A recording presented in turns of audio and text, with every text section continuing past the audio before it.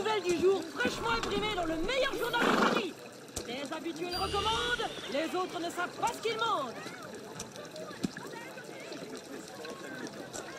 Gazette du jour, demandez la Gazette du jour.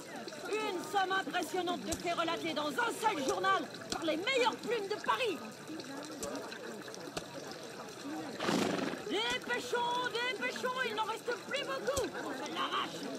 Gazette est disponible pour un prix dérisoire. Soyez au courant dans tout le monde